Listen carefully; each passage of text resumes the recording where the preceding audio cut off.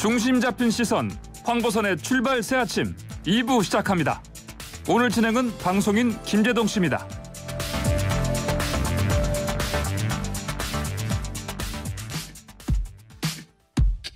Smooth like butter, like a criminal undercover. Don't pop like trouble, breaking into your heart like that.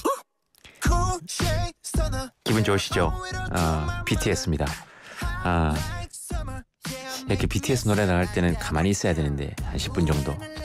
아, 저, 어, 뭐 많이들 들으셨겠지만 아메리칸 뮤직 어워즈에서 아시아 가수 최초로 대상 수상했습니다. 김영대 음악 평론가와 이번 수상이 어떤 의미를 가지는지 좀 이야기해 보겠습니다. 안녕하십니까? 안녕하세요 김영대입니다. 예. 반갑습니다. 어, 뭐 제 얘기 줄이고 BTS 얘기 계속 하겠습니다. 아, 그게 좋을 것 같습니다.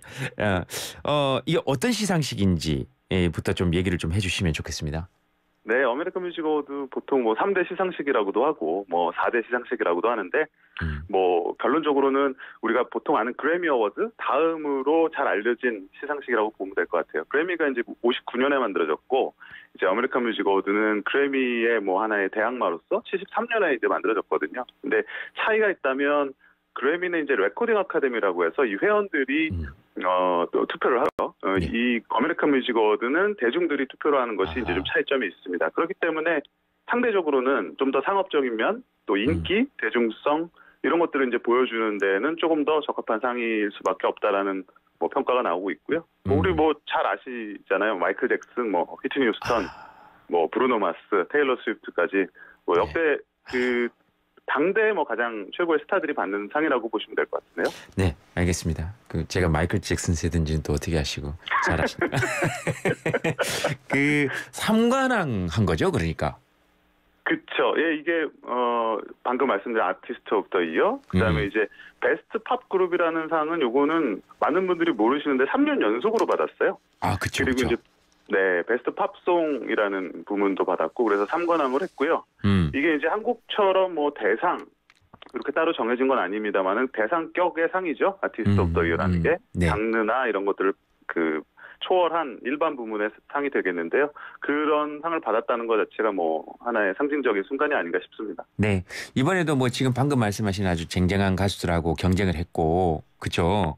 네, 어, 맞습니다. 어. 그 이렇게 큰 상을 받고 뭐 어, 평론가님 보시기에 뭐 여러 가지 얘기들이 있습니다만 BTS가 이렇게 쟁쟁한 경쟁자들 제치고 큰 상을 받을 수 있었던 거 어떤 힘일까요? 한 30분 주시나요? 아 이거 아야 그렇게만 아 저도 마음 같아서야 오늘 특집을 하고 이 뒤에 출연진들 다 밀어버릴까요?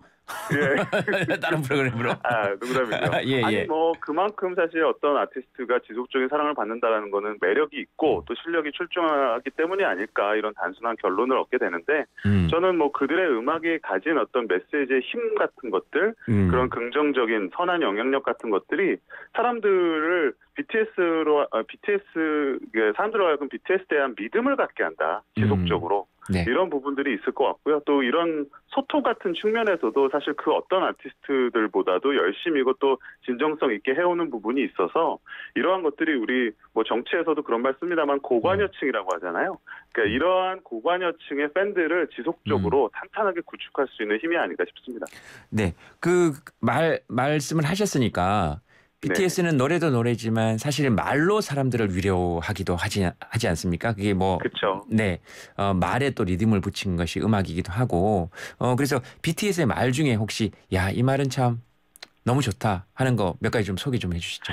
예전에 RMC가 했던 말 같은데 네. 이 청춘이라는 것이 내 자기 마음 속에 있는 꽃 같다. 그래서 그 꽃을 찾으면 그때가 청춘이라고 생각합니다. 이런 말을 한 적이 있어요. 네, 아 근데 좀 그 울림이 뭉클한 마음이 있었고 음, 또 예전에 유엔에서였나요? 그러니까 그 아, 이거 수상 소감이었나 그럴 것 같은데 네. 이게 이제 사람들이 그 코로나 와중에 자기 일을 못 하고 있는 와중에 우리는 어, 각자 열심히 살아가자 이런 말을 하기가 굉장히 미안하다 이러면서 어, 어, 우리는 그래도 노래하고 무대를 보여준 사람이니까 그래도 살아가자라는 우리를 너그러이 받아주시라 그걸 받아주셔서 감사하다 이런 말을 했는데 음, 아 정말 어른스러운 말이다라는 생각을 했습니다.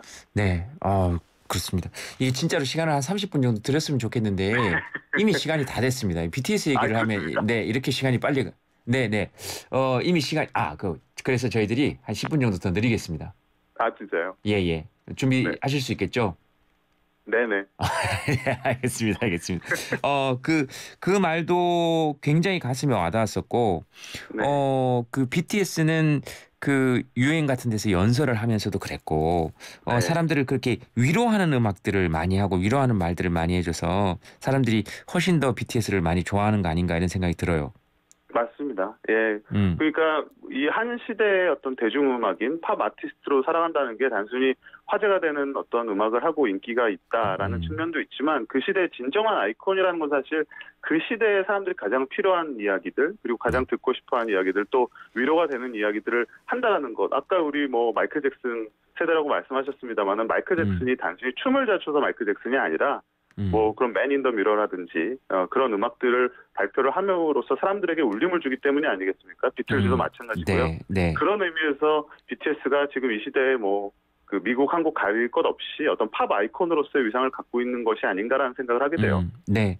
어, 이제 이 얘기 하다 보니까 사람 욕심이 또 끝이 없어서 아, 네. 이제 애매 끝났으니까 우리 또 저 추궁기 한번 또 사러 가야 될 것 같다라는 느낌이 들어요. 그래미. 예? 그래미 추궁기 그렇죠. 받으러 가야 될 거 아닙니까? 네, 이 네. 어, 어떻게 보십니까, 이건? 아 이게 일단 내일 후보가 발표가 되는데 섣부로 음. 예상을 했다가 하루 만에 이거 들, 들, 들통 날 것 같은데 어쨌든 예, 뭐총 7개 부문에 제출했습니다. 이제 그래미는 먼저 제출을 해야지 이제 그 후보로 고려될 수가 있거든요. 음. 근데 올해는 제 느낌에 좀 기세가 좋고 또 여러 예. 가지로 반응들이 있기 때문에 우리 소위 말하는 그 general category라고 하는 올해 레코드, 올해 노래 쪽에도 한번 음. 후보로서 가능성이 있지 않을까 이런 생각을 한번 해보게 되고 예. 그리고 사실 많은 분들이 모르지만 뭐 뮤직비디오 부문에 Permission to Dance가 또 오를 가능성도 있습니다. 그리고 음. 지난해에 아 올해죠. 올해 초에는 이제 후보에 올랐지만 수상을 하지 못했었던 음. 베스트 팝 듀오 그룹이라는 그 부문이 있거든요. 예. 이 부분에는 좀 수상의 영예가 있지 않을까 이런 또 조심스러운 예상을 또 해봅니다. 아, 저하고 비슷하시네요. 예, 이게 잘 되면은 일단 저도 한 걸로 하고 안 되면은 네, 안 평론가님한테 넘기면 되니까. 근데 그런 아. 얘기는 하지 맙시다. 되는 걸로 네. 해야 되니까, 그죠? 예. 네, 우리 시간으로 오늘 24일 새벽이네요, 그죠? 맞습니다. 예, 예. 어, 저 그래미도 사실 대세를 좀 이렇게 외면하지 못하지 않을까요? 그, 그렇습니다. 왜냐하면 그래미라는 게 결국 레코딩 아카데미 회원이 어, 수- 뽑는 것이기 때문에 그들도 사실 듣는 게 있거든요. 그러니까 BTS에 대해 관심이 없던 사람들도 최근에 이런 흐름이다라는 것들을 이제 서로 알게 되면서 이제 음. 입소문 같이 퍼져나가는 부분도 있고 아무래도 연령대가 높아요. 그러다 보니까 이런 음. 새로운 흐름을 받아들이는데 시간이 좀 더 필요한 부분도 있, 기도 하고요. 아. 최근에는 좀 흐름이 좋아진 것 중 하나가 뭐냐면 이게 여성 층들 그리고 다양한 인종층 의 그런 투표인단이 대거 이제 음. 들어갔고요. 그리고 보통 이 뒤에서 뒤에서 몰래 만든다, 밀실에서 만든다고 하는 그 예비 선정위원회가 올해부터 없어졌습니다. 아하. 그렇기 때문에 이게 아마 BTS에겐 좀 더 좋은 소식이다 이렇게 분석하는 쪽도 많이 있어요. 예, 그 뒤에서 이렇게 한다는 이야기들이 들렸을 때 조금 아무래도 그 대중들의 판단과는 좀 동떨어진 너무 그렇죠. 아무래도 그렇겠죠. 네네. 예. 그런 이야기가 있었는데 아 원래부터는 또 아 이런 뒷이야기는 또 어떻게 하십니까? 갔다 오십니까 뭐 거기? 아니 뭐 직업이다 보니까 이런저런 어, 채널로 듣는 이야기들이 예. 아, 있죠. 예. 야, 참. 아, 역시 그 전문가 얘기를 들어야 돼요. 어, 그, 저, 떨리면서도 또 기대가 되고 그런데 이게 또, 네. 또 하나 저희들이 이게 관심이 많은 것이 병역 혜택 음. 부분인데, 어, 네. 모레 국회 국방위에서 법안 소위 회의 엽니다. 병역부 일부 개정안 통과 여부 결정하는데요. 네. 그러니까 이게 예술체육요원 편입 대상 그러니까 대체복무 대중문화예술을 네. 포함하자는 내용인데 어 여기에 대해서는 어떻게 보십니까? 이게 사실상은 BTS 병역 혜택의 이제 마지막 기회가 될 건데 뭐 여러 가지 여론들이 있으니까요. 어떻게 생각하십니까? 아니 그냥 국민의 한 사람으로서는 뭐 어떤 혜택이 돌아가는 것도 이들이 보여준 어떤 공헌이나 이런 네. 국위선양 같은 것에 비하면 뭐 걸맞은 것이다라고 생각할 수도 있을 것 같아요. 근데 네. 일반론적으로 말씀드리면 대중음악인의 공헌에 대한 평가나 이런 형평성 문제 같은 것들 이런 것들이 이제 논의됐다는 것 자체로 좀 의미가 있는 것 같기도 하고요. 근데 네. BTS가 충분히 어떤 일반인적인 시선으로 볼 때 납득할 수 있는 방식으로 병역의 의무 대신 뭔가 다른 방향으로 기여를 할 수 있지 않을까라고 생각할 수도 있을 것 같고요. 네. 그리고 근데 이제 또 향후 이게 국가대표 스포츠 선수가 아니기 때문에 이런 것들이 어떤 기준이 애매할 경우 좀 남용되거나 오용될 가능성이 있다는 점 이런 것이 있고 또 방탄이라는 그룹이 이 세계인의 힘을 받아서 이루는 성과지 않습니까? 그런 네. 역사적인 그 아티스트인데 이거를 한국에서 병역 혜택이라는 이름 이름으로 또 잘못 좀 가둬둘 수도 있지 않나라는 좀 우려 아닌 우려도 해봅니다. 네, 그러니까 사실은 뭐 이 BTS는 정작 이 얘기에 대해서 아무런 이야기를 한 적이 맞습니다. 없는데 이 주변에서 자꾸 이런 논란들을 만들어내니까 BTS나 아미들 같은 경우에는 조금 억울할 수 있는 것이죠. 그리고 이게 어, 네. 약간 또 정치인들의 약간 뭔가 보여주기식의 어, 뭔가 그렇죠. 이런 제스처가 되면 그건 좀 마땅치 않은 것 같아요. 아 그렇죠. 음, 맞습니다. 어, 그러니까 아마 지켜보는 사람들도 어, 여러 가지 그 생각들이 드는 거죠. 그러니까 아, 정치, 어려워요. 네 정치 쪽에서 이런 걸 이제 흔드는 것은 또 맞지 않는 것이고, 네. 어, 뭐 어쨌든 어, 이제 그 왜 영국이 늘 비틀스를 가지고 있는 나라다, 비틀스의 나라다 이런 얘기를 했는데 우리나라도 이제 BTS로 그런 자부심을 가져도 되는 거죠. 아유 그럼요. 맨날 남의 나라 얘기로만 생각을 했잖아요. 음, 뭐 네. 미국의 마이클 잭슨, 영국의 네. 비틀즈. 근데 그런 팝 아이콘 이건 우리나라 지금 얘기가 아니고요. 전 음. 세계를 대표하는 팝 아이콘을 우리가 보유하게 됐다. 어, 이런 음. 생각 가지셔도 충분할 것 같아요. 네, 알겠습니다. 어, 그 앞으로의 BTS 그러니까 지금 BTS BTS 저희들이 얘기를 하기는 합니다만 네. 음, 지금도 이제 그 음악을 들으면서 저희들이 시작을 했는데 어, 사실상 사람들은 어, 평론가님한테는 죄송하지만 BTS 음악을 계- 계속 쭉 듣고 싶었던 시간 아니겠, 아니겠습니까? 그러나 이게 보도 프로그램이다 보니 어, 음악을 네. 계속 들 수는 없고요. 예. 어, 그래서 어, 앞으로 BTS의 전망 같은 거 혹시 어, 해주신다면 아 이제 투어의 시즌이 됐으니까 네. 이제 앞으로 전 세계를 누비는 BTS의 모습 기대를 할 수가 있을 것 같고 음, 그리고 이제 다- 우리가 BTS라는 어떤 그룹의 또 활동도 있겠지만은 이들이 또 각각이 또 빼어난 아티스트 뮤지션이기 때문에 네. 각각의 활동이 또 어떻게 펼쳐질지 어, 이런 음. 부분도 집중해서 한번 봐야 될 포인트가 아니겠는가 그리고 BTS 음. 이후로 만들어질 어떤 K-팝 전체의 풍경들 같은 것도 충분히 음. 예, 관전 포인트가 아닌가 싶습니다.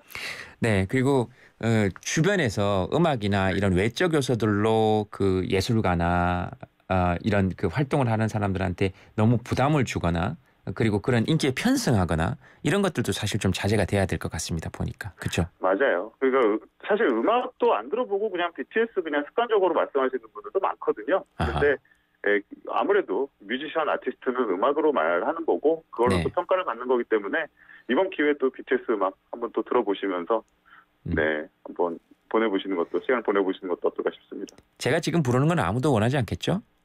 아, 아마 그럴 것 같습니다. 예. 아유, 목을 가다듬으려 그랬는데. 불- 아이. 아이, 아이, 아유, 됐어요. 네, 네. 저도 저도 삐져가지고. 자, 그, 아, 굉장히 사실 이렇게 요즘 기분 좋게 이야기할 것이 잘 없었는데, 음, 어, 맞아요. 이렇게 이야기하면서 참 기분이 좋았고 들으신 분들도 그랬을 거라고 생각합니다. 어, 뭐 네. 문화평론을 하시니까 요것도 하나만 네. 좀 여쭤보겠습니다.